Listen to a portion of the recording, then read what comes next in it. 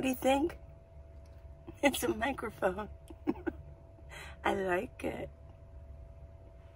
Okay.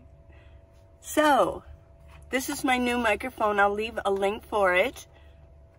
It was not that expensive. It was only $39, $39 for this. My other microphone that I had to plug in, hmm, I put that away. I didn't get I didn't get rid of it. But so how does this? How's it sound, everybody? So how's everybody doing? I made you some tea. It's a big thing of tea. Herbal tea. Today's herbal tea day. There you go. Yeah. Cheers. Mm. Now mine, I've already kind of drinking it down. Mmm, that tastes good. It's got some ginger in it too. So I got my microphone. And what am I going to talk about today? I don't know. What am I going to talk about? well, the last video I showed like what was in my one bin up there. And I had a couple of you mention, well, um, that's sort of a repeat. We've already seen that. And it made me think, what haven't I showed you? I pretty much showed you everything. Now, I'm in a new van. Check. It's very similar to my other one. So the system is pretty much the same. Yeah. So as I could start all over and show you everything in here, but I'm going to get people going, that's a repeat. That's a repeat. Well, I've shown my lights. Yeah. I've shown my temperature gauge. I've got my fan going.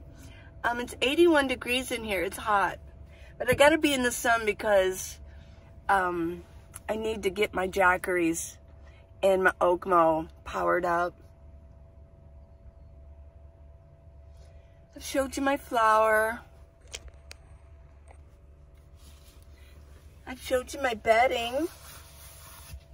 I've showed you my bins. Showed you my bins over here. I showed you my solar. Whoops, I'm cockeyed. There we go. Let me get this. Get this straight. One thing I have showed you, and I'm going to show you all over again, my uh, neck gaiters. Now, these are my neck gaiters, and I have collected every color and pattern that I've sold. I love this one. This is actually one of my favorites. Oh, yeah. Oh, yeah. But I do like this one. It's got the green, the purple. Yeah. Well, I'm to mention to y'all that they're going fast. I've still, I put some of them in a collection. And look at that, uh, black, uh, black and white paisley. So while I talk, I'll show these to you. These are pink rose. Yeah. But I'm going to mention gray. I have lots of gray left. And of course, well, one more of these. I love this one. Lots of black. But I'm going to mention to y'all that I'm not going to order any more. So what I have is what is going to be sold.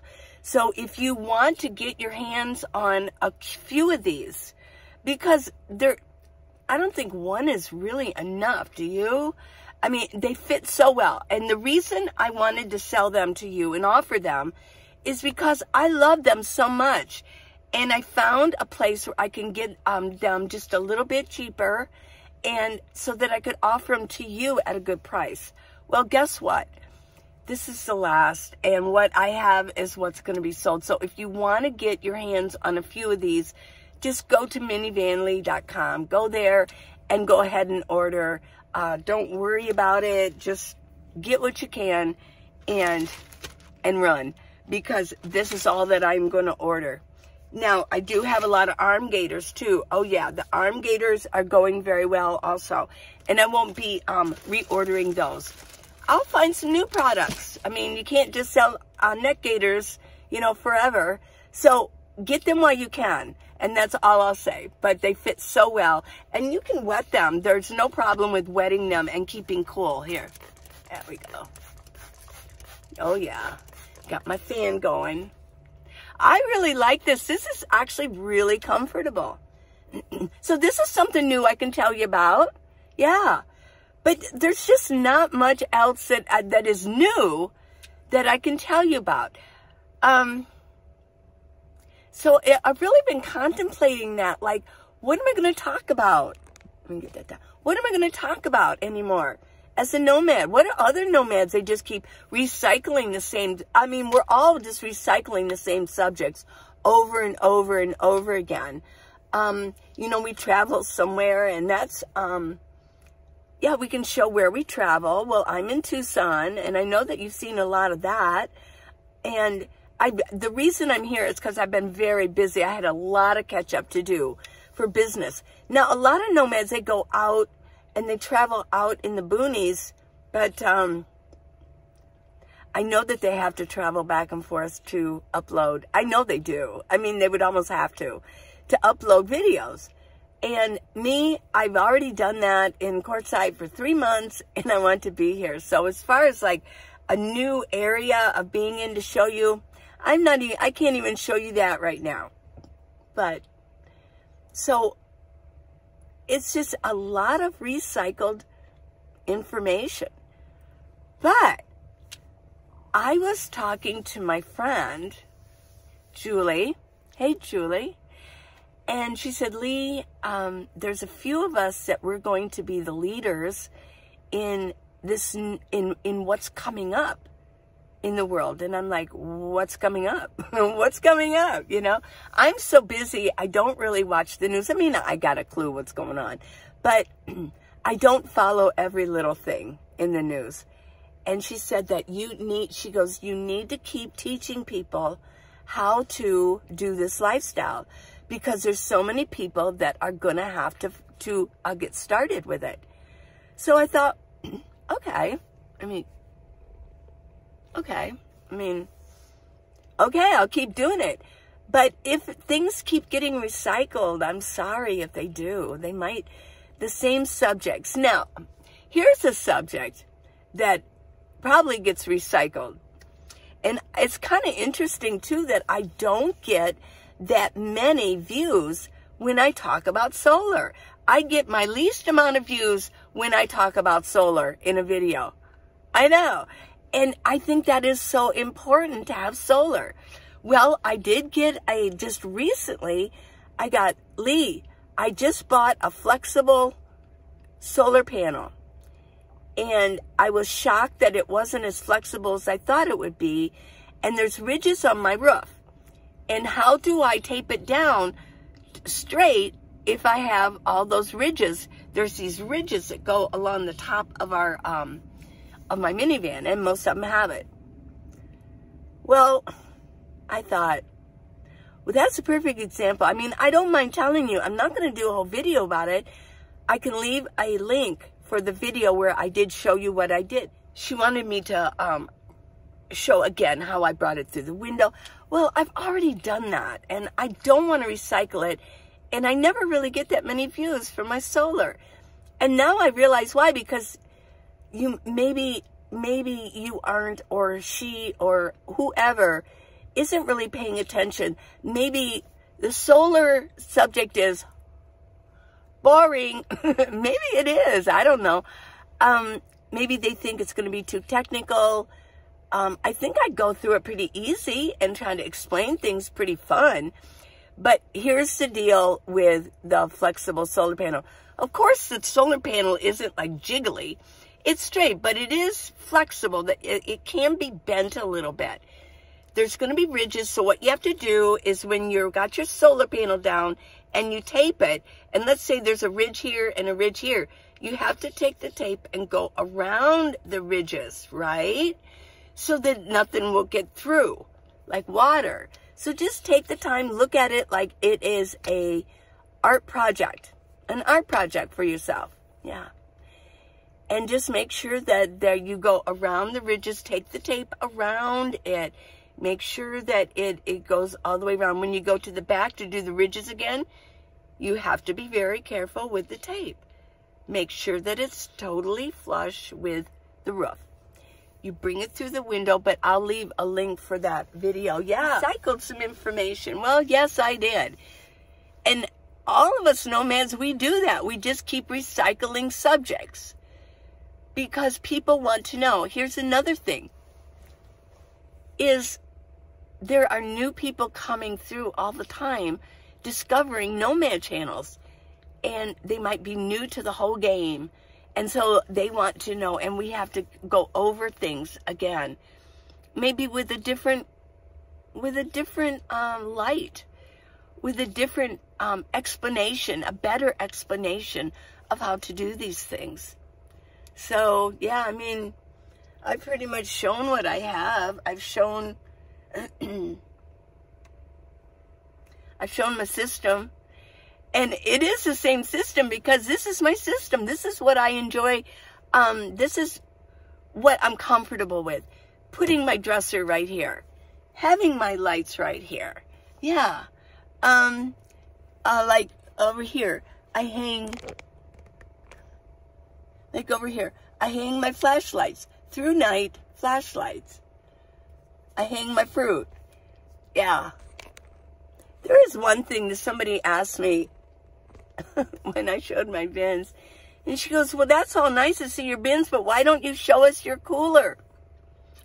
I don't know where she got the impression I have a cooler. I don't have a cooler. I have, um, I don't have one. I carry uh, fruits and veggies that will last a long time, like apples. A cucumber will last a couple days. Lettuce I can pretty much get to last a couple days if I treat it properly. if I take it out of the bag, I spray it all down with water and then I wrap it with um, paper towels. I can pretty much keep my lettuce for a couple days. But I eat canned foods and I eat nuts and berries and things like that. Yeah. And that's what I eat. I eat cold foods peanut, I'm back to eat, I, sometimes I eat peanut butter sandwiches. So if I had a cooler, I would show it to you. Why don't I have a cooler? Well, this is probably a recycle also for you, is I don't like having to spend money on ice. I have to constantly go get ice. I don't like that.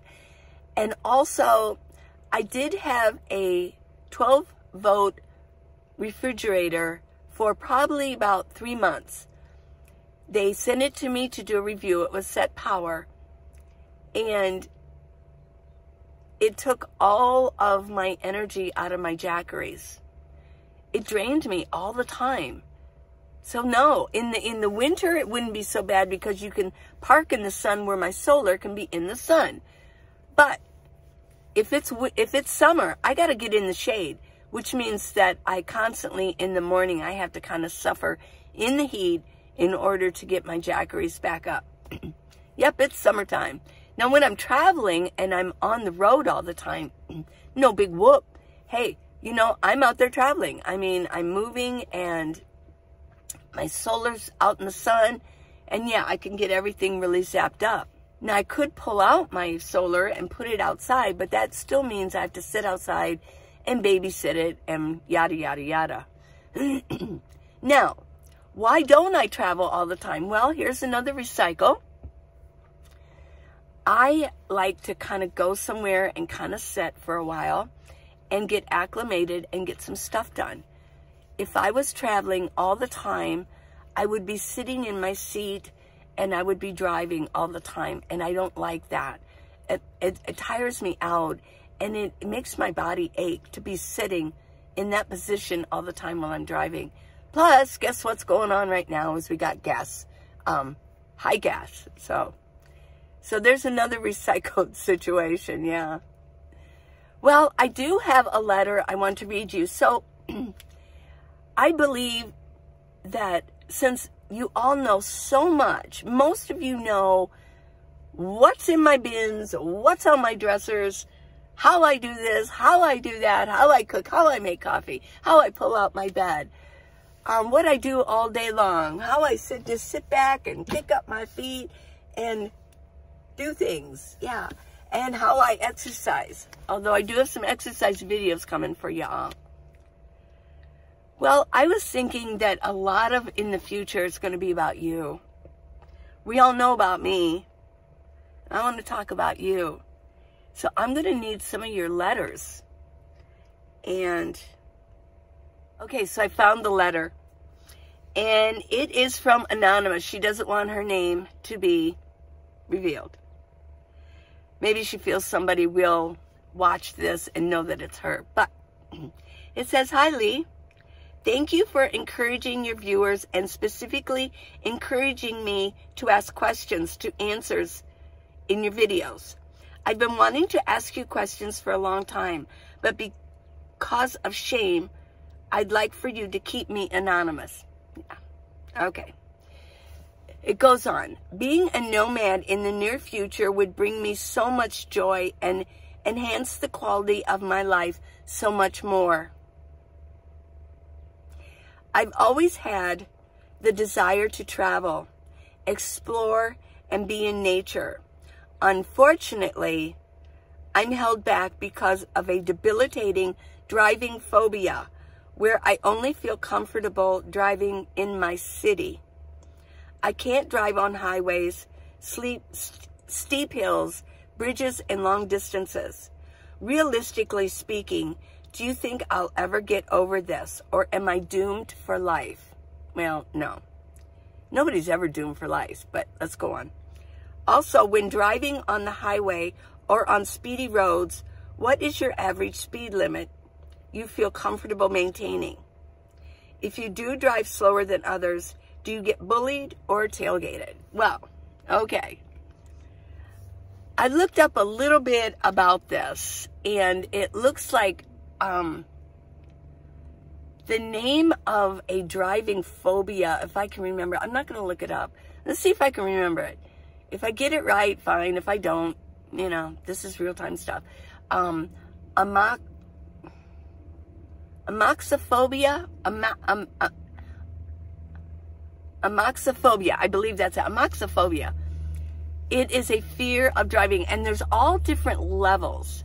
But nobody's doomed for a life. No, no, no, no, no. Nobody's doomed. I will mention, though, that John Lennon, I don't know if a lot of you know this, but John Lennon, could not drive. He had this horrible phobia of driving and he never drove. He did drive once. According to legend, he drove once. He was with Yoko, Julian, and her daughter. And he drove it right into a ditch and they got hurt. He cannot drive. There's something about uh, driving maybe with, um, in, in the brain, like, um, trying to get everything situated with distance, things like that. I don't know, eh, but he always had a, when he became, he had a chauffeur who drove him around everywhere. Well, there are different levels of driving phobias. One is like what you have, where you always want to drive in your familiar area. But there are, there are a lot of people who can't drive at all, or like you said, they they they're afraid of going too fast. It's just all kinds of different levels of driving phobias. And the only way to get over that is through desensitization. That is with any phobia. If you have a phobia of a spider, they will desensitize you with um, pictures of spiders.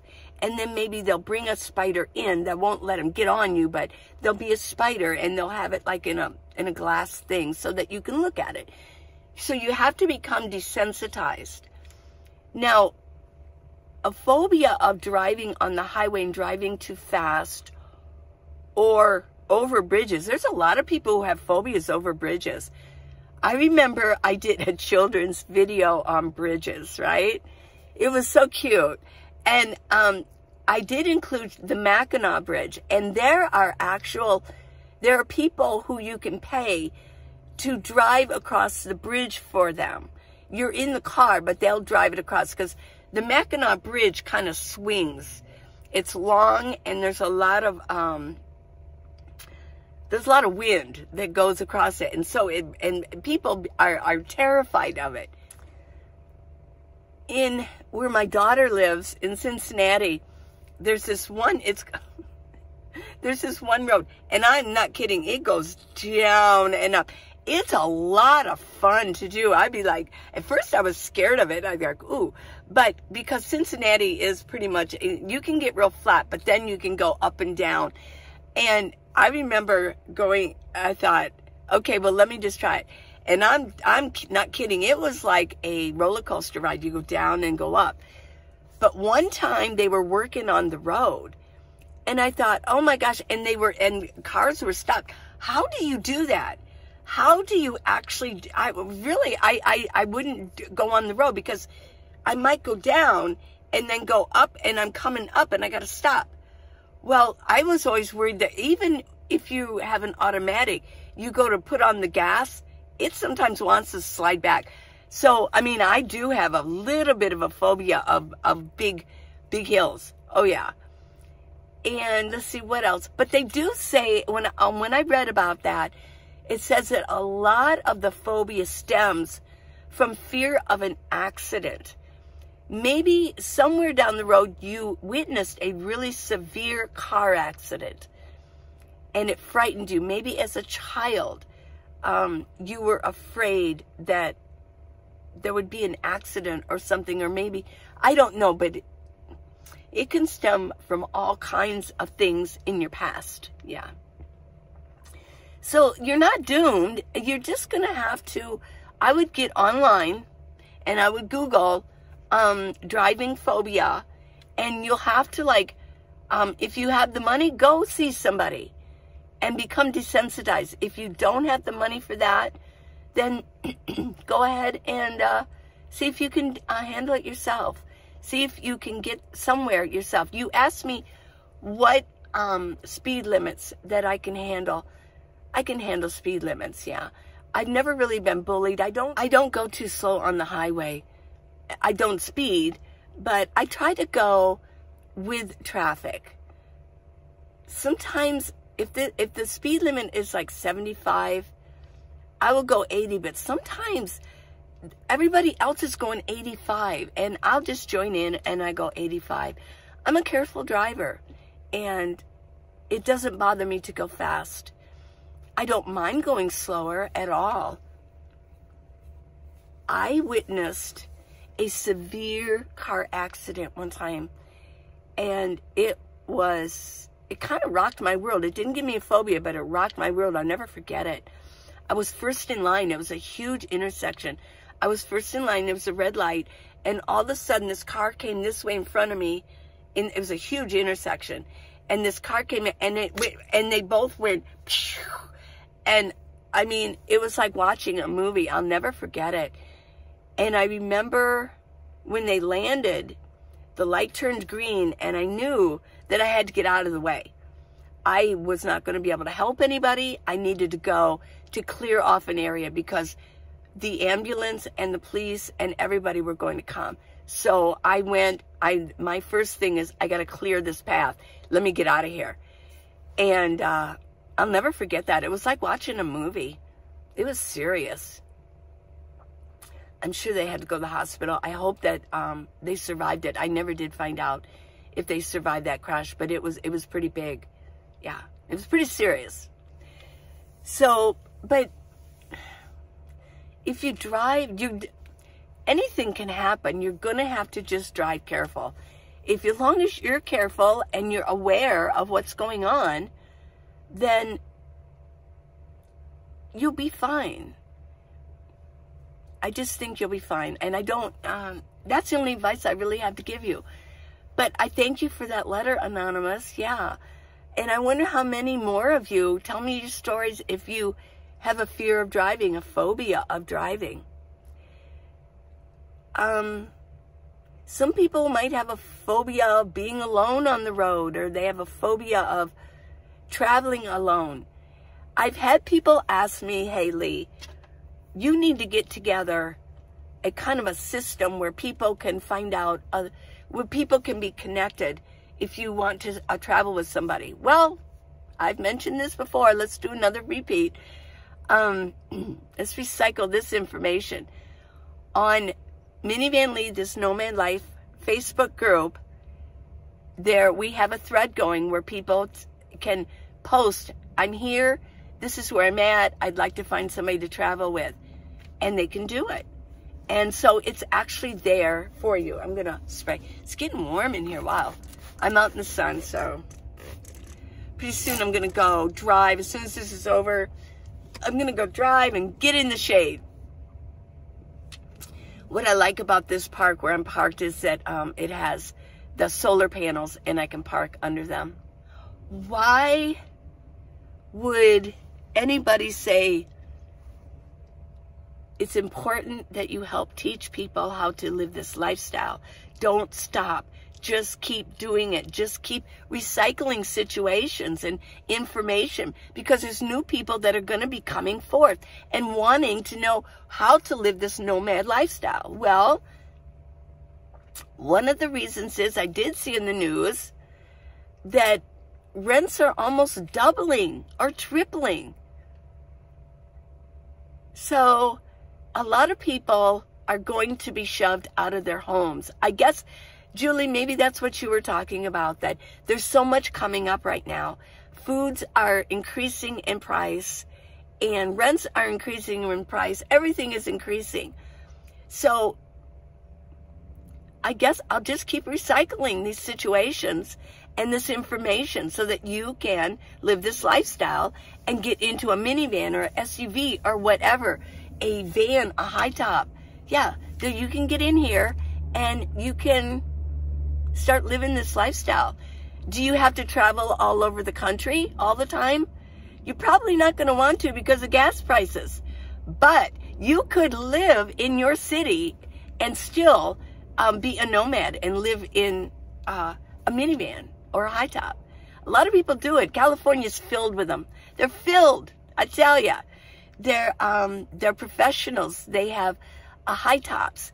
They have closets where they're professional clothes. They get ready every morning for their, or even like in in uh, Silicon Valley. Yeah. So you can do that too. You don't have to travel all over the place if you're nomad. You can live in your vehicle and enjoy the lifestyle. So, coming up, I've done my reset. Now I'm going to do a restart. Let's do a restart on some information about being a nomad. For all you people coming up who might have to be leaving your homes, let's get started. Now, I've got the book. Let's recycle that one. Let's recycle that information. Go to Amazon.com, your, your, you know, your app. Go to Amazon and type in Minivan Lee. Well, my book's going to come up. How to live in a minivan, the Minivan Lee Way. It's not just for minivans, SUVs, high tops. Yes, useful information to get yourself inside your minivan. Now, if you live in a house and you house prices are up. Um, so yeah, I mean, uh, do you want to get rid of your house? Maybe you don't. You can just go part-time until you decide what you want to do. Maybe you don't want to sell your house. Maybe you do. Maybe you want to get the equity out of it and get out and get going. So it's really up to you on what you want to do um, with your home. But if you want to get out of it or you have to get out of your home because you're renting it, then I've got some lists for you to get from A to Z and get inside your home. I would definitely join Minivan Lee's Nomad Life Facebook group. Oh, yeah. Go to minivanlee.com for all of your needs for um, neck gaiters, arm gaiters. I also have, if you want to support me, I'm going to mention it. If you want to support me, I've got um, some different amounts of gifts that you can give me and it's on minivanlee.com. Uh, don't be afraid to use it. It's e-commerce. It's as safe as ordering from Amazon. But I get 100% of that money. And I know some of you have complained that, oh no, you know, some people take their cut. Well, of course they're going to take their cut. But on Minivan Lee, yeah, there's no cut. I take 100% of your gift. So thank you very much. Go on there right now. And I've got from $5 to a big amount if you want to do that. You know, if you say, hey, we love you, Minivan Lee, let's give you a big amount. Wow. Thank you for supporting me. And what else do I have going on here? Oh, the podcast. this Nomad Life podcast with Minivan Lee. It's just me, and I'm a solo traveler, and I'm a solo podcaster. So, and I'm a solo vlogger, and and um, this is a new restart for me. So, I love you guys so much. Mwah. Please subscribe. Give me a thumbs up. It really helps me out. I love you guys for following me all this time through my first two years, and now we're going into a whole new era of Minivan Lee's life. My restart. I love you. Bye.